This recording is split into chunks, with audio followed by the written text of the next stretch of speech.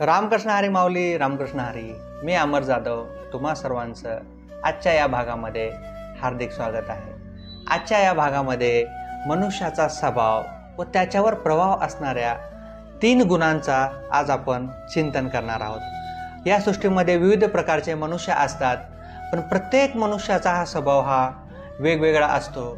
त्याबाबत भगवान श्रीकृष्ण गीतेच्या माध्यमातून आपणाला काय उपदेश देण्याचा प्रयत्न करतात हे आज आपण जाणून घेण्याचा प्रयत्न करणार आहोत.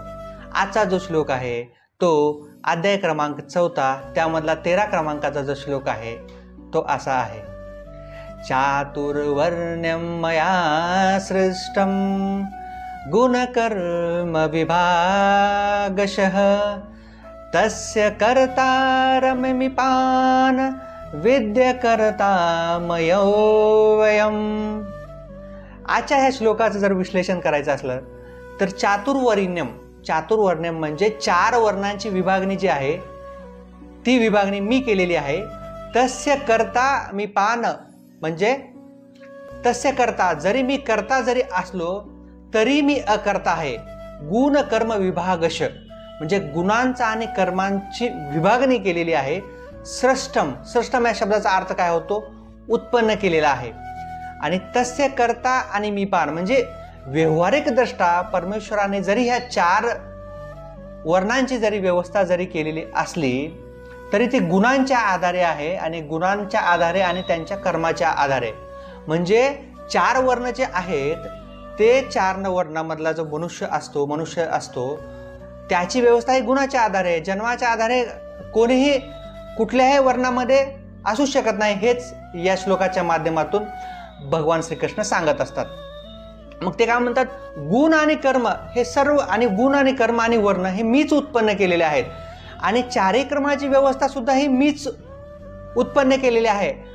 तरी पण मनुष्य जो आपल्या आयुष्यामध्ये जो वावरत असतो किंवा वागत असतो त्याच्यावर त्याच्यावर प्रभाव जो असतो या तीन गुणांचा असतो.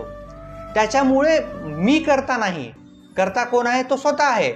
मी जरी उत्पन्न जरी केलं असलं तरी करता मी नाही मी अकर्ता आहे. मग ह्याचं विश्लेषण कशा प्रकारे असेल? तर गुणांच्या आधारे गुणांच्या आणि कर्माच्या आधारे मनुष्याच्या तीन गुणांची विभागणी झालेली आहे. मग ती जन्माने नसून कर्माने आहे. मग आता प्रकृती स्थानी कर्षती एका श्लोकामध्ये काय सांगितले भगवान श्रीकरणे? मनशष्टा आणि इंद्रियाने प्रकृती स्थानी कर्षती.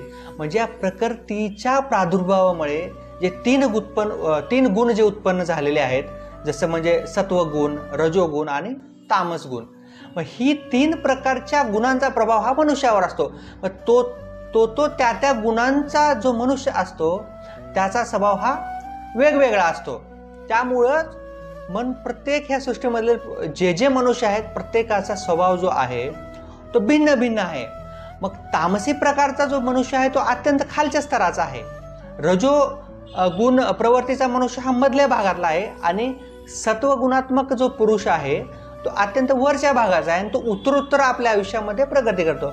मग सत्वगुण प्रकारचा मनुष्य कसा असतो? जो परमेश्वराची आदरणा करतो जीवनामध्ये चांगल्या प्रकारचे कर्म करत असतो तो संसारात राहून सुद्धा संसारात नसल्यासारखे वावरत असतो. मग सतत परमेश्वरामध्ये तो तल्लीन असतो. मग रजोगुणात्मक म मनु मनुष्य कशा प्रकारचे असतात? रजोगुणात्मक मनुष्य हे खान फे खान पान त्यांना जास्त आवडत असतं. थोड्या प्रमाणामध्ये राग राग असतो. थोडीफार परमेश्वरावर श्रद्धा श्रद्धा असते. मग तमो हे अत्यंत खालच्या प्रकारचे मनुष्य असतात. इतरांना त्रास देणे ह्यांना झोप खूप आवडते. अत्यंत म्हणजे कुठलंही कर्म करू नये. म्हणजे वाईट क प्रकारचं क कर्म करण्याची यांची प्रवृत्ती असते. इतरांना त्रास देण्याचा यांचा मुळामध्ये स्वभाव असतो.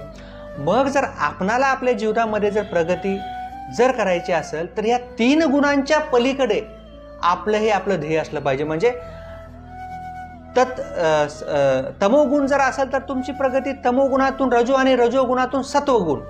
आणि सत्वगुणातून निर्गुण अवस्थे म्हणजे ब्रह्मस्थितीमध्ये हे आपल्या जीवनाचं ध्येय असेल. जर आपण आपल्या आयुष्यामध्ये जर उचित प्रकारची जर साधना करून परमेश्वर परमेश्वराची जर भक्ती जर करून केलो आणि कुण्यातरी गुरुच्या सानिध्यामध्ये जर आपण मार्गदर्शनाकडे आपण जर या आपल्या स्वभावावर आणि आपल्या गुणावर जर कार्य करू तर निश्चितच आपण या तीन गुणांच्या पलीकडे जाण्याचा प्रयत्न करू. म्हणून गुण हे जे असतात हे मुळातच परिवर्तन परिवर्तनशील असतात. म्हणजे गुण हे परिवर्तन होणारच. पण आपण प्रकृतीच्या गुणामुळे मोहित झालं असल्यामुळंच काय होतं? आपण त्या त्या गुणांच्या प्रभावाखाली होऊन त्या त्या प्रकारचं कर्म आपण आपल्या आयुष्यामध्ये करतो. म्हणून ब्रह्मामध्ये जर प्रवेश मिळवायचा जर असेल तर आपणाला या त्रिगुणांच्या पलीकडं गेलं पाहिजे. आणि त्रिगुणांच्या पलीकडे जी अवस्था आहे ती निर्गुण अवस्था आहे. आणि तीच अवस्था ही आपल्या आयुष्याचं अंतिम ध्येय आहे. संत ज्ञानेश्वर महाराज सुद्धा आपल्या हरि हरिपाठामध्ये हरिपाठामधला जो तिसरा क्रमांकाचा जो अभंग आहे त्यामध्ये भगवान श्रीकृष्ण असे सांगतात की त्रिगुण असार निर्गुण हे सार सारा सारा विचार हरिपाठ. म्हणजे तीन गुणांना आपण पाठीमागे टाकलं पाहिजे. आणि निर्गुण हे जीवनाचं सार आहे आणि निर्गुण अवस्थेपर्यंत आपण गेलं पाहिजे. हेच आपल्या जीवनाचं अंतिम ध्येय असलं पाहिजे. हेच भगवान श्रीकृष्ण आजच्या श्लोकाच्या माध्यमातून आपणाला सांगण्याचा प्रयत्न करत आहात करत आहेत. तरी आपण उचित साधना करून ह्या त्रिगुणावर विजय मिळून निर्गुण अवस्थेपर्यंत नक्कीच जाण्याचा प्रयत्न करू. जर माझे व्हिडिओ तुम आपल्यास आवडत असतील तर कृपया नक्कीच सबस्क्राईब करून मला प्रोत्साहन देण्याचा प्रयत्न करा. परत भेटूया पुढील भागामध्ये नवीन श्लोकासह. रामकृष्ण हरी माऊली रामकृष्ण हरी. खूप खूप धन्यवाद.